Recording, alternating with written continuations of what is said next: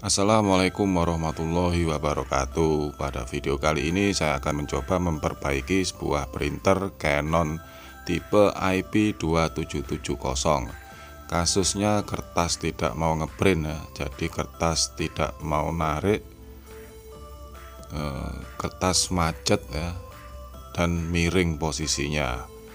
Jadi hanya ketarik sebagian saja Posisinya miring ya bisa dilihat pada video ini ya itu hanya muncul sebagian saja dan posisinya miring. Kemudian tidak ada respon. Oke langsung saja tidak banyak basa-basi ya. Jadi ini pertama kita bongkar atau kita lepas dulu kayak bagian casing. Dengan cara melepas baut ada empat baut yang kita lepas nantinya untuk membuka casing dari printer ini. Kita bongkar casing tujuannya yaitu untuk melihat apakah ada suatu benda yang menyangkut di dalam printer ini ya. Biasanya ada benda yang menyangkut di bagian lubang kertas ini ya bagian lubang kertas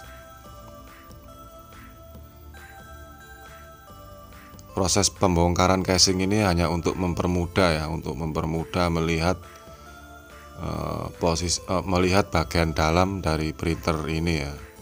Kalaupun ada ben, sesuatu benda yang menyangkut di dalam jadi enak untuk mengambilnya ya. Oke keempat keempat baut sudah lepas terlepas tinggal pembukanya.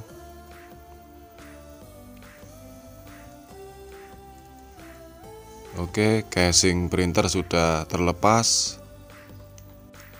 Adapun kasus seperti ini biasanya ada suatu benda yang masuk ke dalam mesin printer ya atau bagian roll. Sebenarnya nggak perlu dibongkar juga bisa ya. Tergantung juga kalau bendanya yang menyangkut nggak terlalu sulit ngambilnya ya nggak perlu dibongkar ya. Cukup dibalik saja printernya terus digoyang-goyang gitu eh, agar benda yang masuk ke dalam bisa terlepas atau keluar.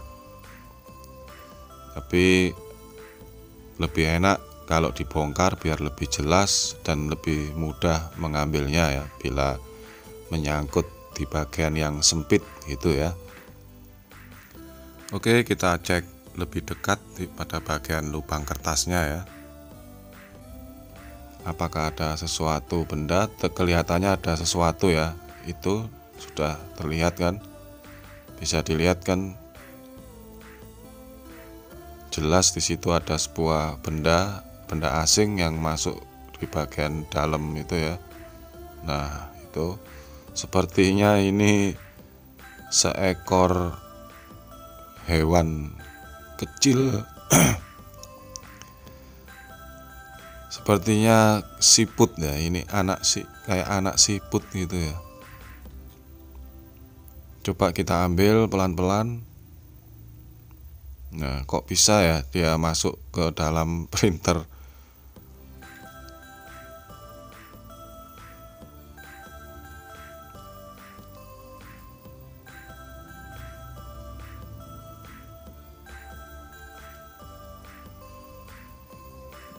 Oke pelan-pelan agak licin. Nah seperti ini ya teman-teman ya. Hewan yang masuk ke dalam printer. Nah ini penampakannya tapi kok tinggal rumahnya ya. Ini ke mana penghuninya ya? Seekor siput yang menjelajah masuk ke dalam printer Oke teman-teman ya eh, Ternyata sangat mudah sekali untuk memperbaiki printer yang macet saat ngeprint. Kertas tidak mau masuk. Kita kembalikan lagi casingnya pada posisi semula. Baut baut kita pasang sangat mudah sekali ya bisa dilakukan oleh semua orang ya. Nggak perlu dibawa ke bengkel atau reparasi. Untuk berikutnya kita akan coba ya. Kita akan coba untuk ngeprint.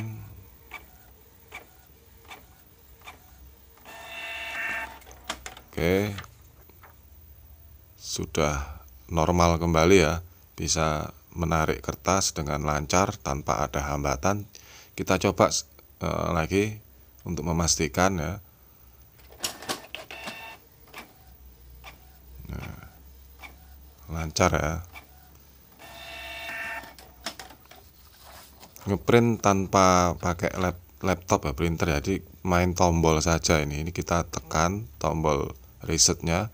Kita tekan sampai powernya kedip dua kali ya kita lepas langsung nah Oke sekian dulu video dari saya. Mohon maaf jika ada yang salah atau salah kata dalam penyampaian. Dan jangan lupa subscribe like dan komen ya. Assalamualaikum warahmatullahi wabarakatuh